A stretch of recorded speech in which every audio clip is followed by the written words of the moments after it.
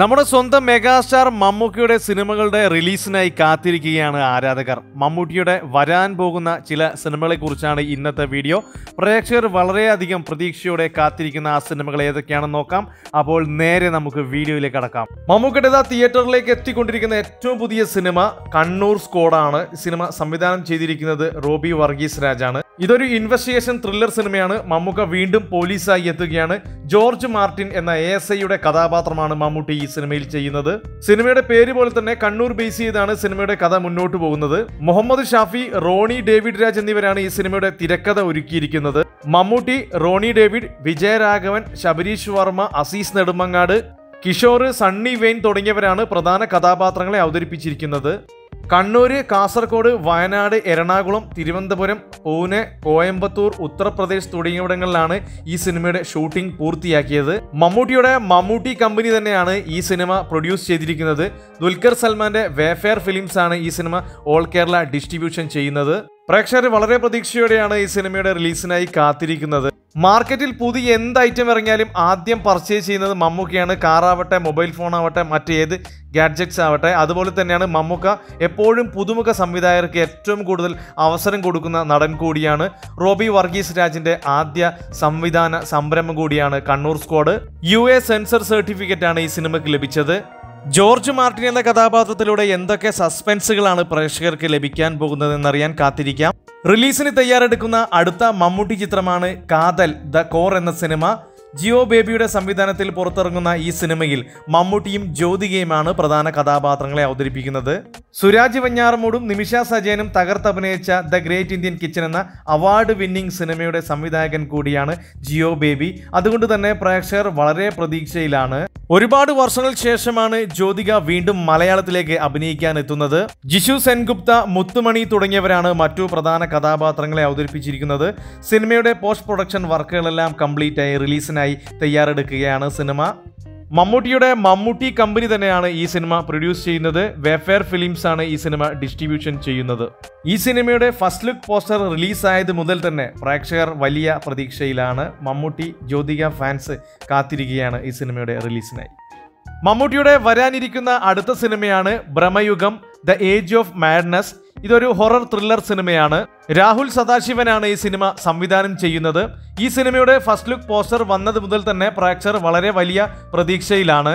വളരെ വ്യത്യസ്തമായ ഒരു ഗെറ്റപ്പിലാണ് മമ്മൂക്ക ഈ സിനിമയിൽ എത്തുന്നത് സിനിമയുടെ ഫസ്റ്റ് ലുക്ക് പോസ്റ്റർ കണ്ടത് മുതൽ തന്നെ ഒരുപാട് അഭിനയ പ്രാധാന്യമുള്ള കഥാപാത്രം തന്നെയാണ് മമ്മൂട്ടി ഈ സിനിമയിൽ അവതരിപ്പിക്കുന്നതെന്നാണ് മനസ്സിലാക്കാൻ സാധിക്കുന്നത്. മമ്മൂട്ടി അർജുൻ അശോകൻ സിദ്ധാർത്ഥ് ഭരതൻ തുടങ്ങിയവരാണ് പ്രധാന കഥാപാത്രങ്ങളെ അവതരിപ്പിക്കുന്നത്. മറ്റു കഥാപാത്രങ്ങളുടെ വിവരങ്ങൾ ഇതുവരെ ലഭ്യമായിട്ടില്ല. പാലക്കാടും പരിസര പ്രദേശങ്ങളിലുമായിരിക്കും ഈ സിനിമയുടെ ചിത്രീകരണം പൂർണമായും നടക്കുക. പ്രത്യേകിച്ച് വരിക്കാശ്ശേരി മനയിൽ ഈ സിനിമയുടെ പ്രധാന ഭാഗങ്ങളെല്ലാം ഷൂട്ട് ചെയ്യുന്നുണ്ട്. സിനിമയുടെ റിലീസിനായി നമുക്ക് കാത്തിരിക്കാം. മമ്മൂട്ടിയുടേതായി വരാനിരിക്കുന്ന അടുത്ത സിനിമ ബസൂക്കയാണ്. ഡീനു ഡെന്നീസ് ആണ് ഈ സിനിമയുടെ സംവിധാനം നിർവഹിക്കുന്നത്.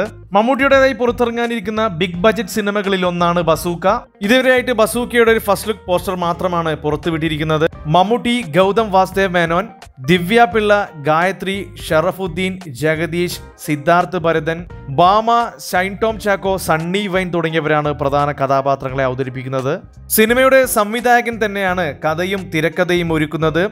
ഗൗതം മേനോനും മമ്മൂട്ടിയും ആദ്യമായിട്ടാണ് ഒന്നിക്കുന്നത്. ഈ സിനിമയുടെ അനൗൺസ്മെന്റ് മുതൽ തന്നെ പ്രേക്ഷകർ വളരെ വലിയ പ്രതീക്ഷയിലാണ്.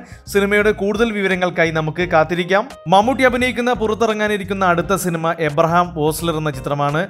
ജയറാമാണ് ഈ സിനിമയിലെ നായകൻ. മിഥുൻ മാനുവൽ തോമസ് ആണ് ഈ സിനിമ സംവിധാനം ചെയ്യുന്നത്. ഇതൊരു മെഡിക്കൽ ത്രില്ലർ സിനിമയായിരിക്കും.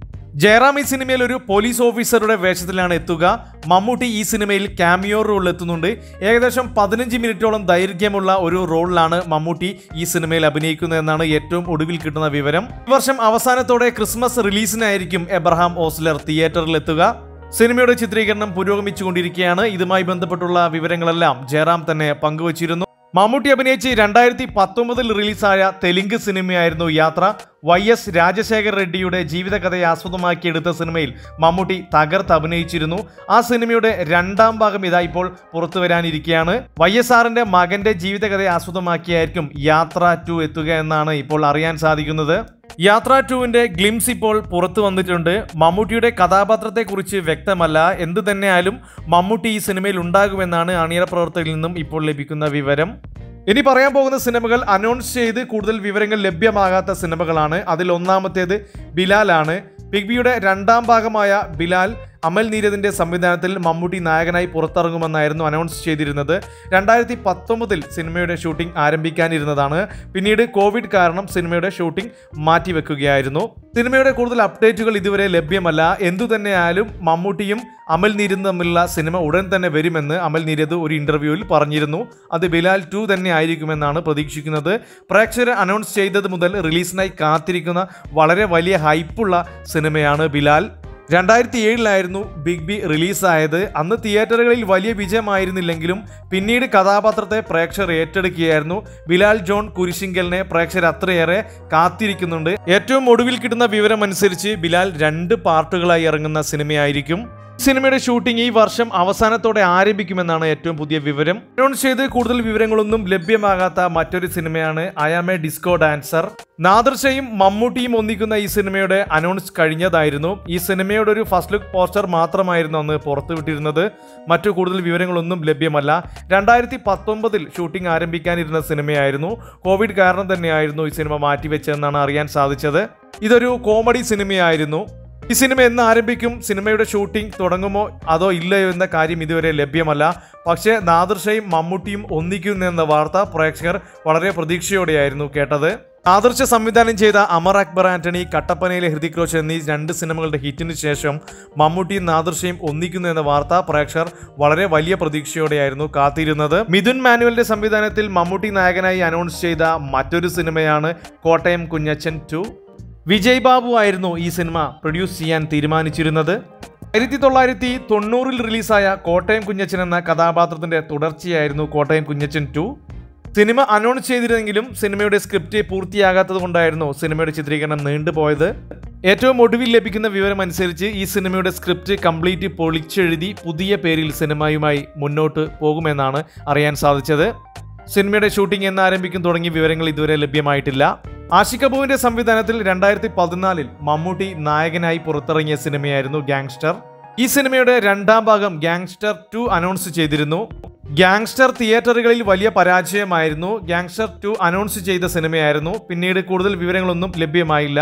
ഈ അടുത്തിടെയുള്ള ഒരു ഇന്റർവ്യൂവിൽ പോലും കബു ഗ്യാങ്സ്റ്റർ ടു എന്തായാലും സംഭവിക്കുമെന്നായിരുന്നു പറഞ്ഞത്. സിനിമയുടെ കൂടുതൽ വിവരങ്ങൾക്കായി നമുക്ക് കാത്തിരിക്കാം. അടുത്ത സിനിമ മമ്മൂട്ടി നായകനായി അനീഫ് അദാനിയുടെ സംവിധാനത്തിൽ അനൗൺസ് ചെയ്ത സിനിമയായിരുന്നു അമീർ.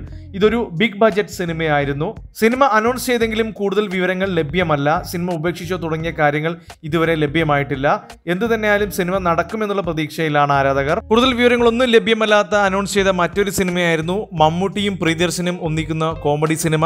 ദിലീപും ഈ സിനിമയിൽ ഒരു പ്രധാന കഥാപാത്രത്തെ അവതരിപ്പിക്കുന്നെന്ന് വാർത്തകളുണ്ടായിരുന്നു. എന്നാൽ സിനിമയുടെ കൂടുതൽ അപ്ഡേറ്റുകൾ ഇതുവരെ ലഭ്യമല്ല.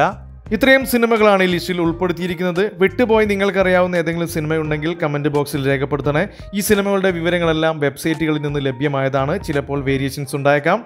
അപ്പോൾ ഇന്നത്തെ വീഡിയോ അവസാനിപ്പിക്കുന്നു. വീഡിയോ ഇഷ്ടപ്പെടുകയാണെങ്കിൽ ചാനൽ സബ്സ്ക്രൈബ് ചെയ്ത് സപ്പോർട്ട് ചെയ്യാൻ മറക്കരുത്. മറ്റൊരു വീഡിയോയുമായി വീണ്ടും കാണാം. Thank for watching only for cinema